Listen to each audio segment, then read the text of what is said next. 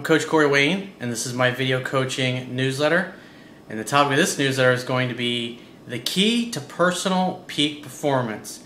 We're going to go over today, I'm going to go through one email, and what I'm going to talk about is your career, your business, your mission, your purpose, what it is that you do in life, and how to keep yourself focused on the things that are most important. And we're going to talk about the psychology of success the difference between people who achieve the things that they want to in life and the difference between people who tend to major in minor things, which is most people in this world.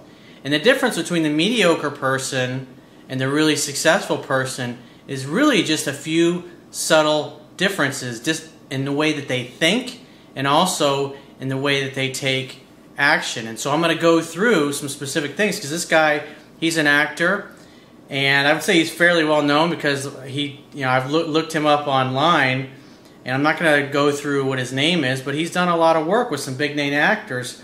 One of them being Denzel Washington, another one I see Colin Farrell that he's done work with, and a bunch of other names that you would recognize.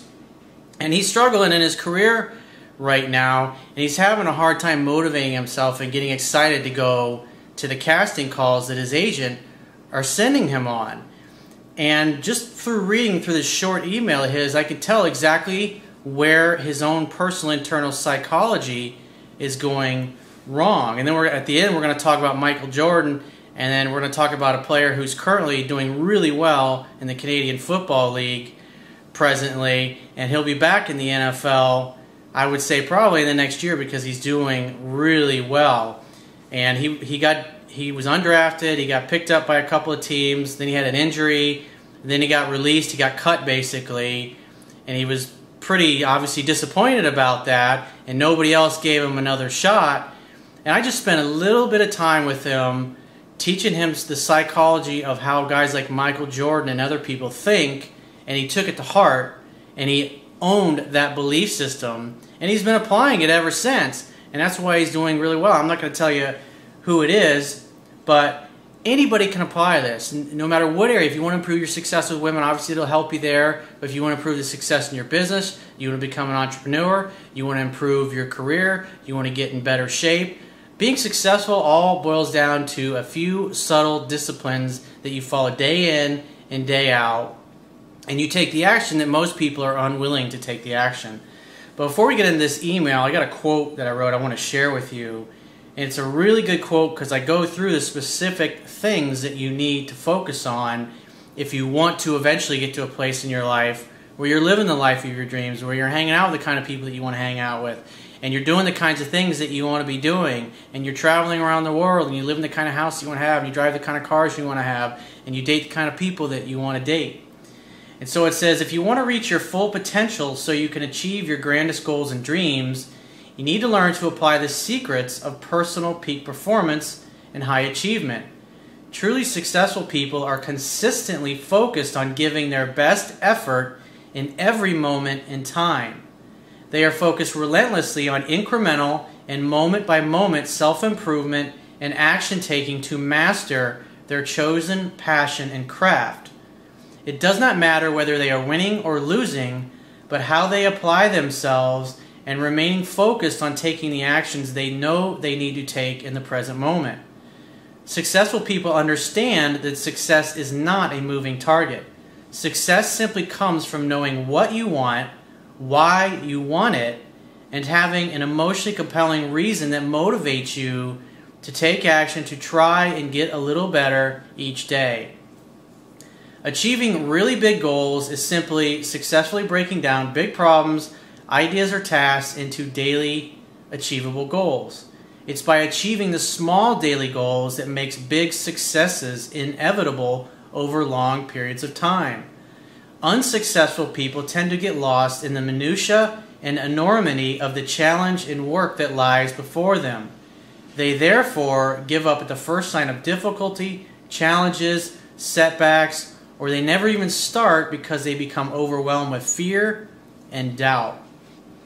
So let's go ahead and get in this guy's email. His email is really short, and I'm going to go through about 18 bullet points and examples, things that I'm going to point out to him. And like I said, this is obviously a lot of this is going to apply to what he's trying to do as an actor. But it's really the psychology of success that you can apply whether you're a real estate agent or you're an entrepreneur or you're a CEO of a company or you're a professional athlete or you're an aspiring musician or you're a very successful musician because I coach everyone that in and in between all kinds of people that are playing at the highest level and people that are just starting out trying to make it and people that are kind of halfway on their on their way to making it. And the difference between the most successful people is how they think and what they do on a daily basis to take action. As you probably heard me talk about before, like a guy like Ray Allen, who is one of the all-time leaders in three-point shot made in the NBA. One of the things that most people don't know is, and I've talked about this before, is because he's a great example. Every day at three, four hours before the game starts, he's out in the court and he's making 100 free throws. He makes 100 free throws before he stops. Repetition is the mother of skill. Excellence is not a singular act, it's a habit. You are what you do repeatedly. He's out there trying to get better every single day. When you see him in an interview, or LeBron James, or Dwyane Wade, or Chris Bosh, or any of those guys that are two time NBA champions, they've last two years in a row, they've won. They've been to the finals three years in a row. They all say the same thing. I'm just trying to get a little bit better each day. And so let's get into his email. He says, Hey, coach, I'm an actor and I've been an actor for 20 plus years. I have a decision that I have to make and I need your advice. I've been divorced for seven years and I'm a single dad of two beautiful daughters. I lost momentum in my career to take care of my kids, but I've regained it in the last couple of years. There was a time when I had the passion to go out on every part that would come my way, but now I'm more selective in the roles that I want to go out for. Some of the auditions or meetings that my reps set me up for, I'm not crazy about. I'm fearful of telling them that I don't want to go out on certain roles because I don't want them to lose interest in me. You need to listen to that fear. That fear is telling you something. That's like a danger, Will Robinson. That's like a warning bell going off in your mind and in your heart saying, that's not a good idea. I mean, put, put yourself in the shoes of the guy that's sending you out to a casting call. He gets paid when you get a part. That's the bottom line. And think about it. If he's got 30 or 40 other actors calling up going, dude, send me a casting call. Come on, man. I want to make it. And you're like, oh, man, fuck. I don't want to go to a sitcom. I don't want, that's a shitty movie. I don't want to do that. Who do you think he's going to want to deal with? As opposed to getting you on, hey, man, you know what? I really appreciate the opportunity. Fuck yeah. I'm going to go out and I'm going to give it my best fucking shot. I'm going to do everything I can to make you look good and get the part so we can both make a little bit of money off this. That's the attitude that you need to have. You need to have an attitude of gratitude. You need to get back to that guy that you were when you were first starting out. And obviously, I looked through all the roles that you've had. You've had a lot of success in your career, a lot of what I would consider pretty damn fucking big success, some big roles and some big movies with some big fucking people. The reason you, you, you got those roles is because you were hungry. And it's like if you ever notice, like musicians, really successful musicians, they have a run of about like five to ten years where it seems like they're banging out one hit after another. And then after that, they may tour and they may do really well, but you don't ever really hear from them anymore.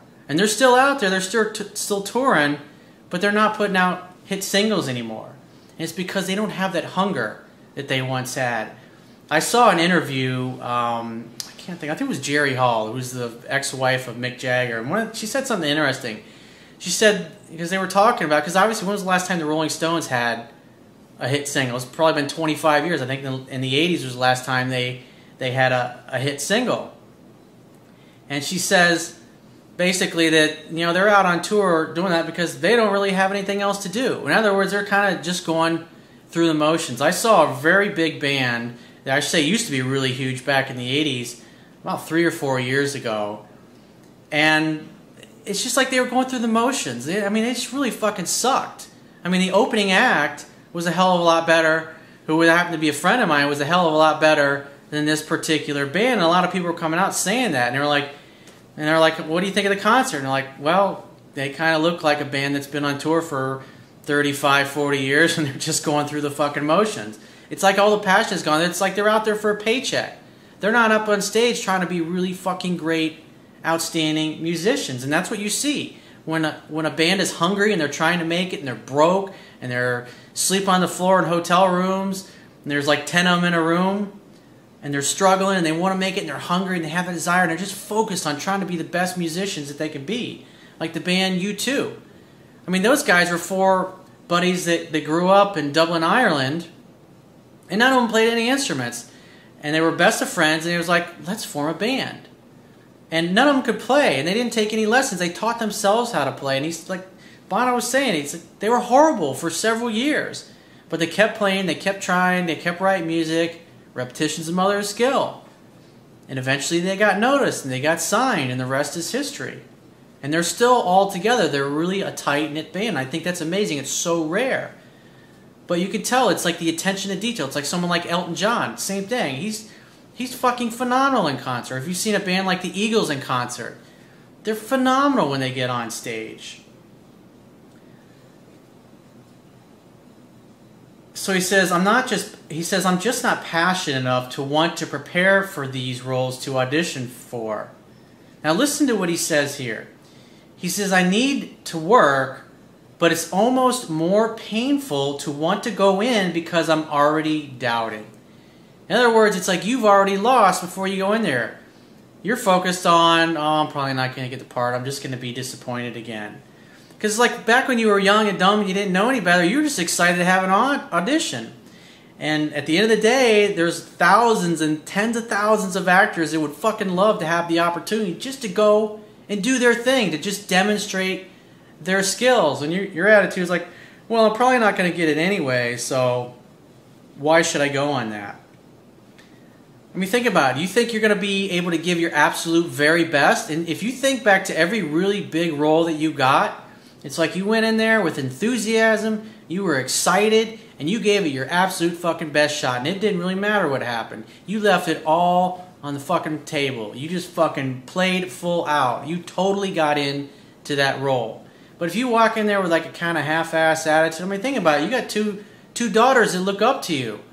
You're their leader. You're their mentor. You're the example of maybe they're not going to become actresses. Maybe they go into something else. But if they see you just kind of half-assing through life, half-assing your job and your career, and struggling when you used to be really successful at it, what do you think you're teaching them?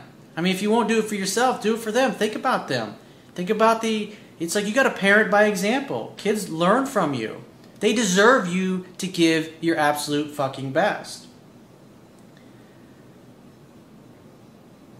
So he says, How do I tell my reps that I want to pass on sitcoms and certain roles without them losing their enthusiasm for me? That's a bad fucking idea. That's what that is right there. You got to look at every single audition you go on is you're not auditioning for a part. You're not looking to get a fucking paycheck at it or hit the, you know, get the next big role that makes it big for you. When you go to an audition is a chance to practice your craft and display your skills and be your absolute very fucking best that you can be. That's why you go to an audition. You ain't there for a paycheck. You ain't there to pay your fucking bills. You ain't there to get a job. You're there to do your absolute very best. And then when you walk out of there, if you get the role, fucking great. If you get a paycheck out of it, great. That's fucking gravy. You need to be walk out of there with the attitude of, hey, you know what? I gave my best fucking shot. Flip a coin. If I get it, great. If not, there's another audition tomorrow. That's what you need to be focusing on, dude. He says, I will probably need to book a phone coaching session in the future to give more detail. It's a good idea. It's a good investment. Aren't you worth it, my friend? He says, in the meantime, I would love your advice on this. So I've got a, like about 18 things here that I want to go through bullet points that are specific. And you know, even if you're not looking to become an actor or an entertainer, these are things that can apply to you in the psychology of how you need to think in order to become successful. It's just like I was saying a minute ago. The whole purpose of an audition is not to get a part or a paycheck or a job or a gig, whatever you want to call it. The, pur- the whole purpose is that you want to showcase your talents and try to get better because when you act in front of other people, you're going to get feedback. You're going to get good, honest feedback. Number two, repetition is the mother of skill. excellence is not a singular act, it's a habit. So every day, every one of those opportunities that you have to go on a casting, you have an opportunity to be face to face with people in the business, even if you don't get a particular role you're trying out for.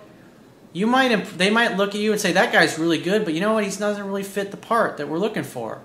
Six months later, a year later, a month later, he may be casting for something else, and he may remember you because you played full out and you gave it your fucking best shot, even though they didn't really. I mean, I have seen countless interviews with actors and actresses that have gone in, tried out for one particular role, and they were so impressed with how well they did, they ended up giving them a different part in the movie because they weren't really ideally suited for what they were trying out for. That's why you got to go in there and give it your absolute fucking best shot. Because even if you don't get the role that you're there for in the first place, maybe you get a shot to read for another part. That's the way you got to look at it, dude.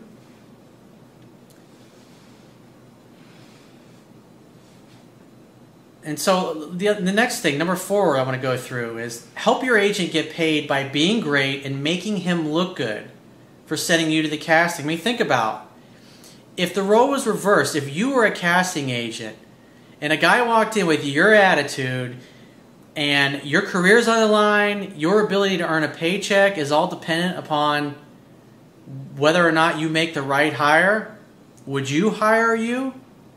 with the attitude you've got and the level of effort that you're giving, on a scale of 1 to 10, every time you walk out of there, you need to be given an absolute 10 or an 11 performance, whether you get it or not.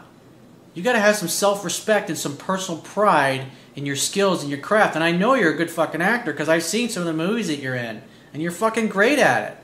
But you can't go in there with the, oh, well, I don't really want to fucking be here. There's thousands of people that were fucking chomping at the bit trying to replace you. Younger guys, better looking, more talented, more enthusiasm. Think about all that. Empathize with your agent. Empathize with the casting agents. You got to look at it as you're you go there in a way to kind of serve your casting age. I know it's a different way to look at it, but think about it. Because if you go in and you get the part and you totally kick ass, guess what? He gets fucking paid. If you go in there with a shitty attitude and you don't get anything, what does he get out of it? Fucking nothing. Other than listen to you whine about how you don't want to go to certain roles. You can't have that fucking attitude. You got to be grateful and appreciative for every single opportunity to showcase your talents.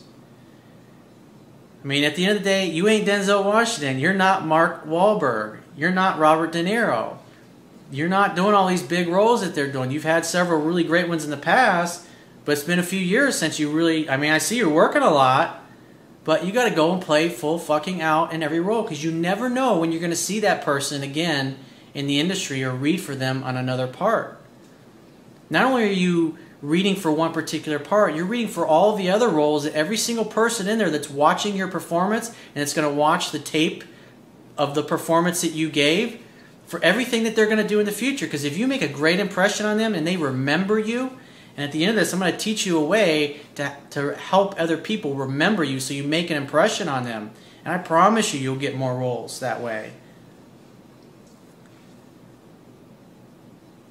Because at the end of the day, nobody likes a pain in the ass or somebody with a bad attitude. Because, like I said, there's thousands of people that are just chomping at the bit that would love to have the opportunity that you're totally fucking taking for granted. I saw a documentary recently the, on uh, Jeff Bridges, and he's a another really brilliant actor. And when he was young, I mean, his father Lloyd Bridges was a obviously a very well-known, famous actor, and and he just kind of got into it because he was around it. you know, when he was young, and he got a bunch of roles, and he was good.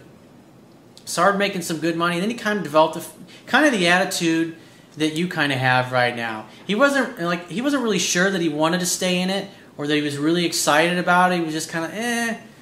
And so he was talking to this older, established actor. This guy, the guy was much older. I think he was in his 50s or 60s, if I remember right. I could be wrong, but this guy had a lot of experience. He's very well known. And he was sitting down and talking to him, and he was just kind of like, you know, I don't know if I really want to do this, or this is my thing, or you know, I'm not really excited about this role. And he was turning down other really good roles that were being offered to him. He was just being kind of picky because he didn't really want to, wasn't sure he wanted to do it. And what this actor told him, because he, cause he was sitting there talking to this guy, and he was just kind of not really into it. But when he got in front of the camera, he was fucking on. He was 100% playing full fucking out. It's just like when I do these videos. Sometimes I don't feel like doing a fucking video. And sometimes, like when I sit down to start my phone sessions, I'm not really in the mood to do a phone session. But you know what? I'm getting paid to be there and be totally 100% present for that client. And I need to play full out and give my absolute very best because they're counting on me to fucking help them. Other people are counting on you. And so back to Jeff Bridges, this actor, and what this guy, you know, afterwards when he got done, he just he started talking to him, and he said he basically said to the effect that you've got to give your absolute very best, even when you don't feel like it, even when you feel like being lazy, even when you don't want to be there.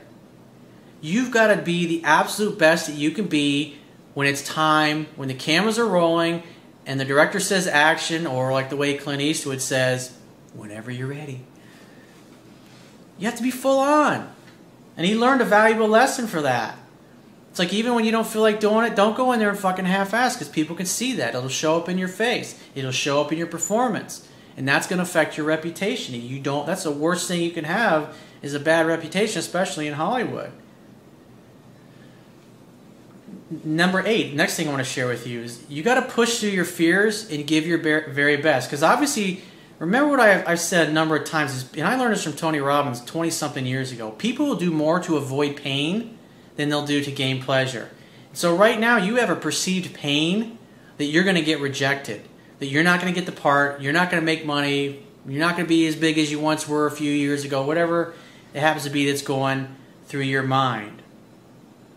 And so, in essence, the pain of failure is more real, and you're, which, without realizing it, you're letting pain drive you away from giving your absolute best performance every single time that you're out there in front of the camera or on a casting call or on the set or you're on location.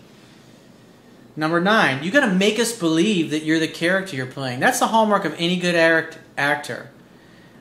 I mean, there's some actors, it's like even shitty roles, they get on and they just totally own the fucking role. They make you believe it. They, because of their intensity, and their charisma and the way they deliver their lines, you totally pay attention to the to an otherwise shitty movie that doesn't really have that great of a script. I mean, how many action movies have you seen that were kind of stupid and silly, but you love the main actor and you love the little one-liners that he de- that he delivers? It's kind of the same movie over and over with like kind of a different type of setting, but you're still entertained and you still don't mind parting with your eight to ten bucks to go to the movie and blow another thirty or forty dollars on popcorn and crappy hot dogs and the other fucking ridiculously expensive food that, that you pay for when you go to a movie. It's like you need to be full on alpha and embody the spirit, tonality, physiology, and essence of every single role that you go on. Not just the ones that you really want. It's like you got to be full. It's just like what I talk about with women. You got to treat all women the same. And that's part of the problem. Guys that don't succeed with women, it's like they get around women they really like, and they put them on a pedestal, they treat them like a celebrity, and they're extra nice to them to the point where they let them walk all over them and they get rejected. But women they don't really care about, they stand up for themselves, they don't put up with any bullshit or any flakiness. And of course, the girls all over them. Number 10, here's a really good example. And I saw an interview with uh, Nick Saban, who's the head football coach with, for the University of Alabama know, three or four weeks ago. You can probably watch it on YouTube. And one thing that I thought was really fascinating, he, uh, the last four years, his teams have won three out of the, the four national championships that they've competed for. That's pretty fucking amazing. That's a hell of an accomplishment. And he won, I guess it's been about 10 years ago, 10, 11 years ago, he won a national championship with LSU when he was the head coach there. So that's four national championships. Where his college football teams, absolute fucking best in the country. Bar fucking none. And you want to know what he focuses on? What he has his team on? It's not about winning. It's not about scoring points. All they focus on is fundamentals, and every single fucking player, when they step on that field, they are given their absolute 100% best fucking effort.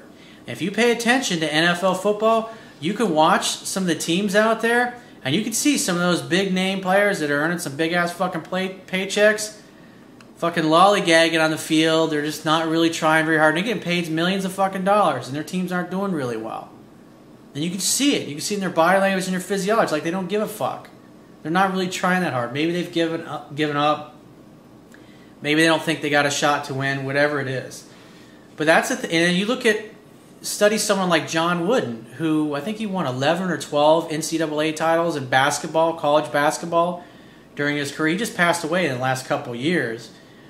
But Tony Robbins did an interview with him years ago that I listened to, and it was really fascinating because what Coach Wooden did was that it didn't matter if his team was up by 20 points or they were down 20 points. They always played the same. They were pretty even keeled. It wasn't about scoring baskets or, or winning the game. It was simply about every single player, when he stepped onto the court, he was playing full out. He was giving 100% of his effort and completely leaving everything he had on the court.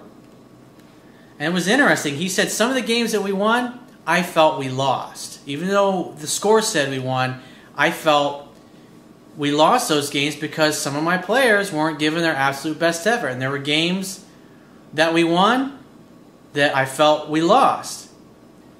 Because and there were games that he lost that he felt that they won because his players they showed up and they gave their absolute best ever. They should have won, but they didn't. That's just what happens sometimes. It's like flip a coin. Every woman you ask out, she ain't gonna say yes. They're not gonna like you. They don't. They don't like the way you're dressed. They don't like like the way you look. Your big nose, your big feet. Who cares? You got to the key to the universe is circulation.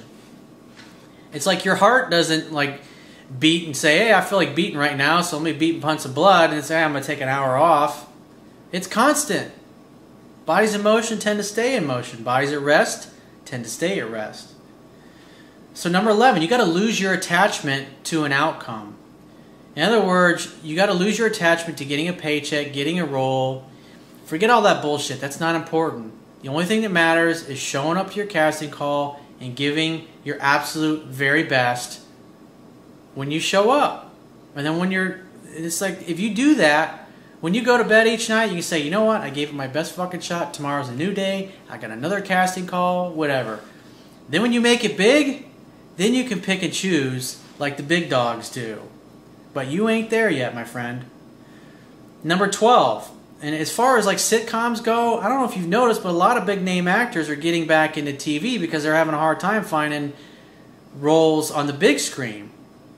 And if you look at like where, I mean, as far as the internet goes, content is king. And you look at like Netflix and what they've realized, like the the show House of Cards, is that people want to watch their content. They'll sit there and watch a marathon of the the show that they did with Kevin Spacey called House of Cards.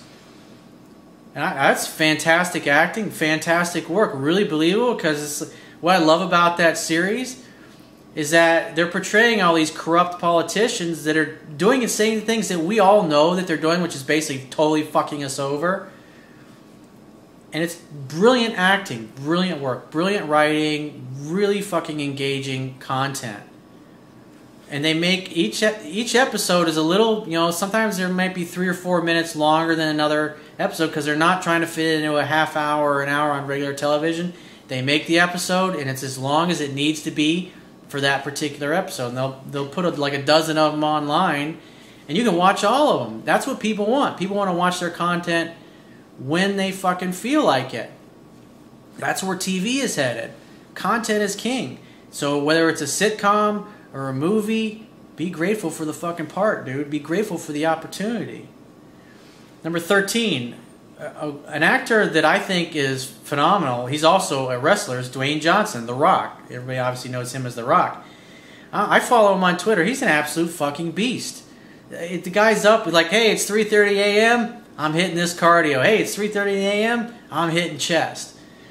And he's just he's a he's a maniac about his workout regimen, and it's he's just constantly tweeting pictures all day long from sets like all over the world. This guy is constantly acting. He goes into a mediocre franchise. You look at something like Fast and Furious, which like did amazing this past these past couple years since he kind of helped revitalize his franchise.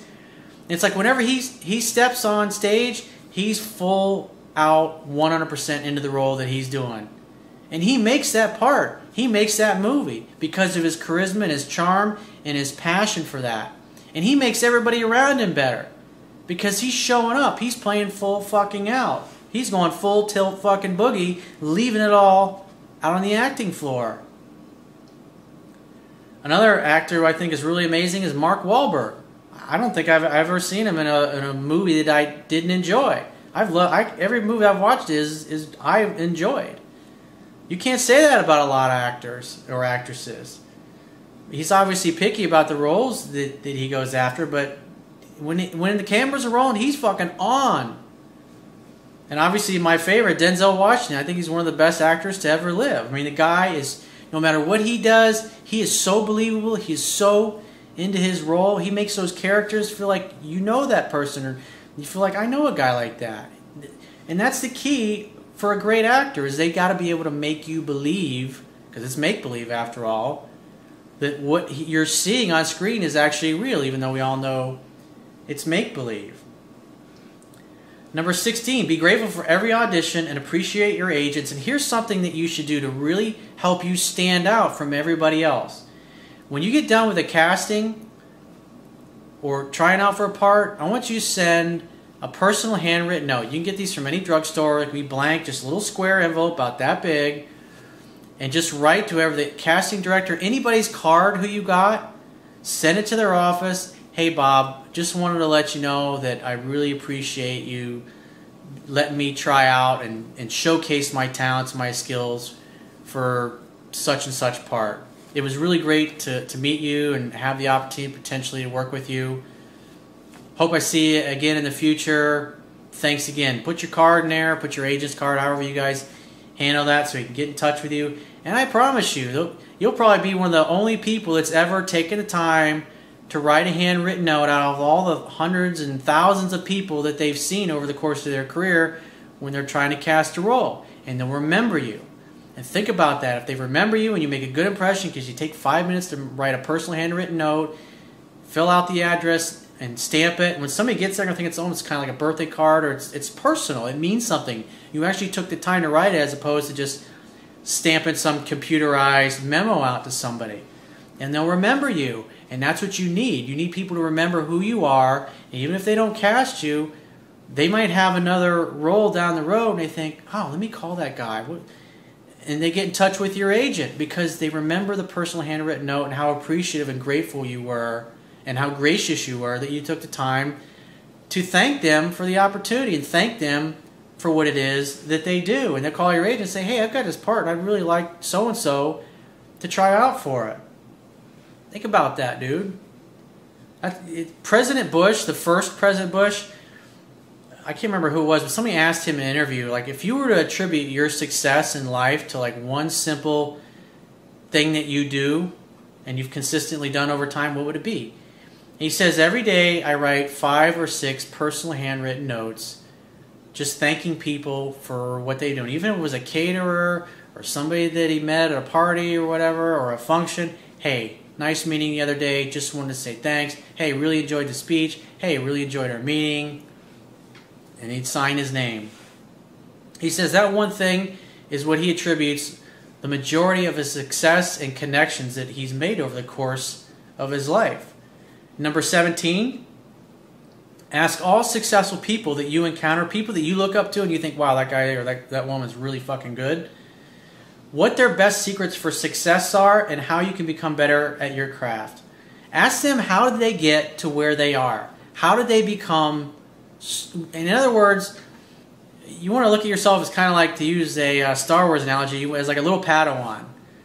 It's like if you were to, you know, like what what would you suggest that I need to do or what I need to work on in order to become a better actor, to get more roles, to be more successful, it's like, what are the daily disciplines that you work on? What are your mindsets? How do you look at success? How do you approach each role? How do, what do you, how do you handle things when you get a, a casting call for something you don't really want to go on, but you go on it anyways? Well, how do you approach that? What's your mindset? What's the psychology of your belief system? People love to talk about themselves, and people love to fucking give advice. And when you get around some of those other big name actors, guys like Denzel Washington, Colin Farrell, some of those other guys that you've acted with, ask them things like that. And listen. Send them a personal handwritten note. Send it to their agent. However, however it is that you can get back to them and let them know that you appreciate the fact they took five minutes of their time just to give you a little bit of advice because they'll remember you because you never fucking know when you know if you do something like that even maybe you hand it to them on set six months later a year later their agents approach them. There's this big movie they're going to do and there's a part in there that they still haven't cashed They're like hey you need to call so and so his agent. That guy is really fucking awesome. I worked with him a couple years ago. Hell of a nice guy. Wrote me this nice handwritten note. Nobody's ever fucking done that for me. And, and just thanking me for my time. And you know what? Let's let's have that guy come in and read for that part. I can't count the number of times I've seen interviews with actors and actresses where something like that. That's the story of how they got apart. It was a connection that they made with somebody. They gave them a handwritten note, and they made it and became very successful. And they remembered other people that they met along the way. And so, number 18, the last thing that I want to go through with you is an example of how Mike Tony Robbins sat down with Michael Jordan. I don't know how many years, probably 15, 18, 20 years ago, whatever, whatever the hell it was. And he said, "What is the reason for all of your success? What's the difference?" And this is what I shared with that player that got cut from the NFL team a few years ago, and he's been playing in the Canadian Football League for I think about three, four years now at this point, and he's really fucking balling out. He's kicking ass. And within the next year or two, he'll be back in the NFL and I'm not going to tell you who it is, but this is what I shared with him. And this is what Michael shared with Tony. He said this is what this is how this is why Michael Jordan was such a freak of nature and why he won 6 NBA titles and has just ridiculous amounts of records. Some of them probably won't be broken for 50 or 100 years if ever. One of the best to ever play the fucking game.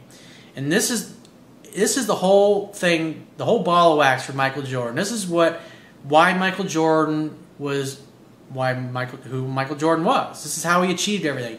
He said, "I demand more from myself. I have higher standards for myself than my coaches, than my teammates, my friends, my family, and my fans." In other words, he holds himself to a much higher standard than anybody else expects or even asks of him. And because of that, he works harder, he studied film harder. He practiced harder. I mean, this is a guy that sophomore year you would think he was killing it. Well, he got cut from the varsity basketball team. He didn't even fucking make the varsity basketball team sophomore year. And his coach saw that he had talent, and he says, and he obviously was pretty disappointed. And he said, "Tell you what, if you meet me every day after school for the rest of this year, I promise you, next basketball season you'll definitely make the team. And so it took that coach caring enough to see that Michael had a gift that was kind of raw and underdeveloped, but he was willing to work at it. And so he did those little things that nobody else is willing to do. That's just the same kind of stuff that Ray Allen does. It's the same thing that LeBron James does. That's why I follow guys like that on Twitter.